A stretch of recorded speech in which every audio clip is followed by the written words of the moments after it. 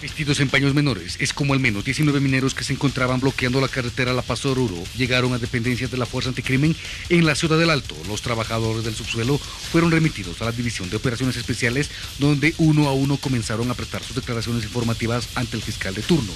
Esperen un Si ellos dejen- quieren hablar, van a salir. Por favor, van a hablar. déjenos trabajar. Nadie Yo les está estorbando. Ustedes están adentro de su oficina y Por nosotros favor, estamos déjenos- trabajando déjenos trabajar. Estas personas estarían entre las últimas aprendidas como producto de la más reciente intervención policial que logró habilitar el tráfico vehicular en la carretera La Paz Oruro, altura población de Mantecani.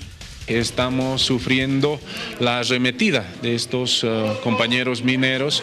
Les convocamos, les invocamos eh, que puedan acudir al diálogo y no sigan en esta actitud eh, de confrontar, de, de dañar a nuestras fuerzas policiales. Son dos días en que efectivos policiales se enfrentaron con cooperativistas mineros que decidieron bloquear las carreteras del eje troncal del país exigiendo al gobierno la atención de sus demandas.